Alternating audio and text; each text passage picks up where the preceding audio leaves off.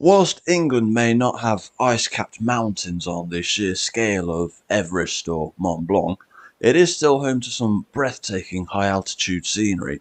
But where in particular? Well, let's take a look at the 10 counties that boast the country's highest peaks and where exactly each peak is found. Number 10. Our first entry is a county sharing a border with North Wales, the county of Cheshire. The Welsh connection is a red herring though, as its highest point comes from the Peak District. Anyone who's been to Macclesfield and climbed the 108 steps will testify that Cheshire doesn't mess about with its gradients. A few miles east of Macclesfield is its highest point, the hill known as Shining Tor.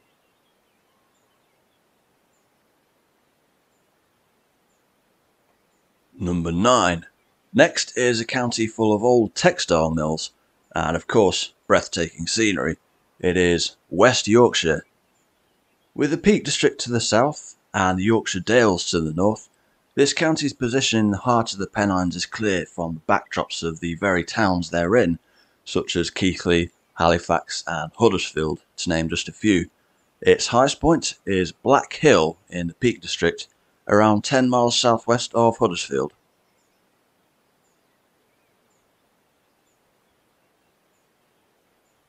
Number 8. Now for something, or rather somewhere, completely different. Here's a county famous for its two coastlines, but also home to Dartmoor National Park, Devon. Now, the definition of a mountain varies depending on who you ask, but essentially it's any natural elevation rising above either 600 metres or 2,000 feet. Devon's highest point qualifies on both counts, making it home to the first mountain to feature on this list. The mountain in question is High Willhays, standing at 621 metres or 2,039 feet, although the neighbouring summit of Yes Tor is approximately a mere 2.5 metres smaller.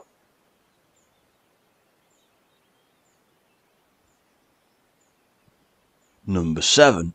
And for the next county, we head back up north to the land of textile mills, stone terrace houses, and in this case, hot pots, Lancashire.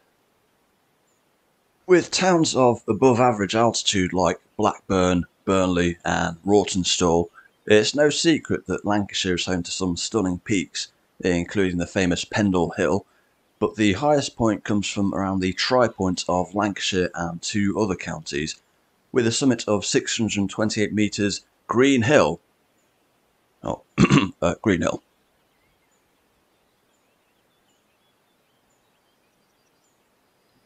Number 6. When you think of the Peak District, usually one county in particular springs to mind, and that county is Derbyshire. Aside from its rolling hills, there are many notable towns here at high altitude, particularly in the northwestern, aptly named district of High Peak. This is home to the spa town of Buxton, which, at an altitude of a thousand feet above sea level, is claimed to be England's highest market town. As for the highest point in the county, that's found slightly north of Buxton at the plateau known as Kinder Scout. It was here in 1932 that a mass trespass took place in protest against the fencing off of open countryside by wealthy landowners. This historic event paved the way for the national parks and the right to roam, something that's almost taken for granted these days, making this arguably the most important entry on this list from a political standpoint.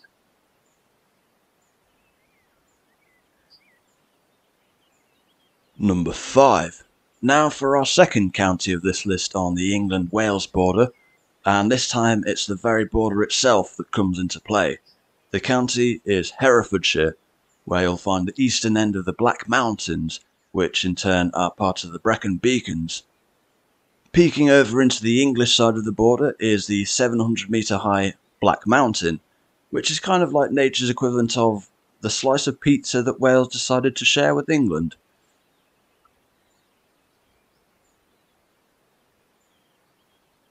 Number 4. And now back to the land where the word the is missing from the dictionary as we head this time for North Yorkshire.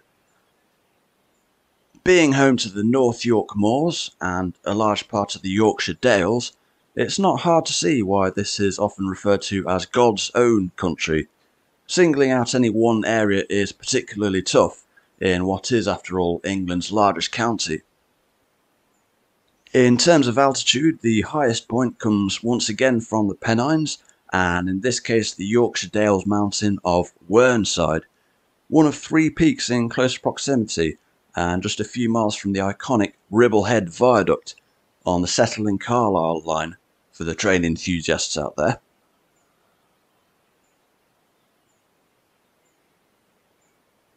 Number 3. Heading further north still, we come to our first top 3 entry, County Durham.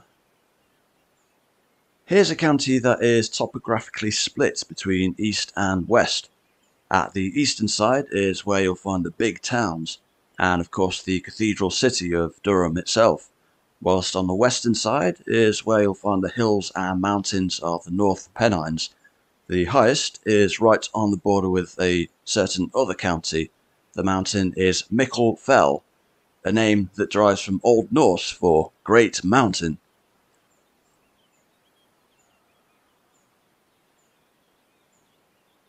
Number 2. And now we head to another border county, this time on the England-Scotland border. Northumberland.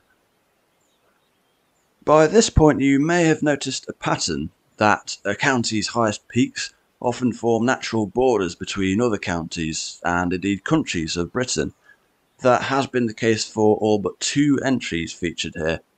Rivers also play a large role in this regard, hence why there are no straight lines for borders, unlike what you see in North America, for instance. To that end, Northumberland is separated from Scotland in part by the River Tweed and also in part by the Northumberland National Park. It's here that you'll find the Cheviot.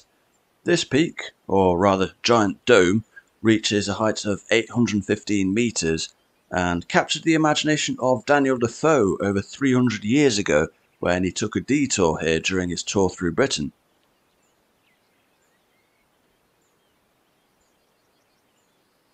number one. And of course, it'll come as no surprise to many that the county with the highest point in England is the one that's home to the Lake District, along with its associations with Messrs Wordsworth and Wainwright, Cumbria. Now, of course, I should clarify that Cumbria as a county has only existed since April 1974, when the historic counties of Cumberland and Westmorland were merged, along with the Furness Peninsula of Lancashire and a sliver of Yorkshire as well. In old money, Cumberland is home to the highest point, which is the famous Scafell Pike. Standing at 978 metres, this mountain is situated close to the historic tri-points of Cumberland, Westmorland and Lancashire. And it features on the National Three Peaks Challenge, in which participants attempt to climb this, along with Snowdon in Wales and Ben Nevis in Scotland, within a 24 hour period.